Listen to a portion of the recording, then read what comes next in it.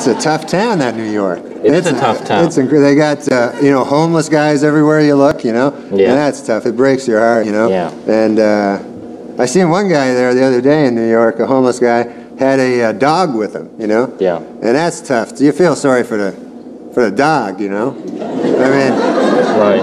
you know, the dog's not thrilled with the deal as he got a homeless guy, Yeah. you know.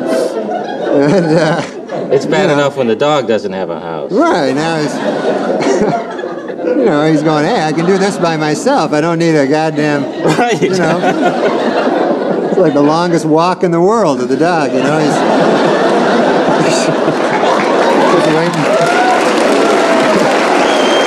Well, why don't we take a break and then we'll uh, come back and we'll uh, talk some more. You want to do that? Yeah, that's great. Okay, you're just hilarious. We'll be right back with Darren McDonald. Flipping.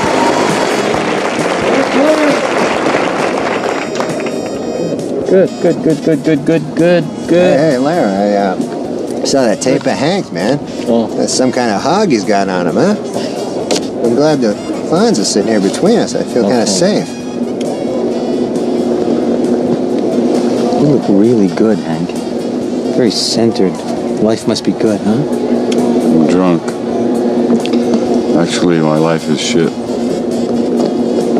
Well, it can't be that bad. I mean, uh, I just heard that, that you are you're coming out with some kind of a tape, an exercise tape. Congratulations. What is that, a joke? What are you trying to be funny?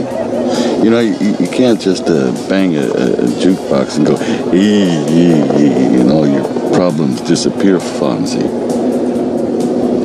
It worked for me. Ah, go fuck yourself. Hey, hey, you know this dear friend of mine. He brought everybody banana bread. He gave Larry his sweaters. Don't pick on him. You want to pick on somebody? Pick on Norm Macdonald. He didn't bring anything. I'm just kidding, baby. You're very funny, man.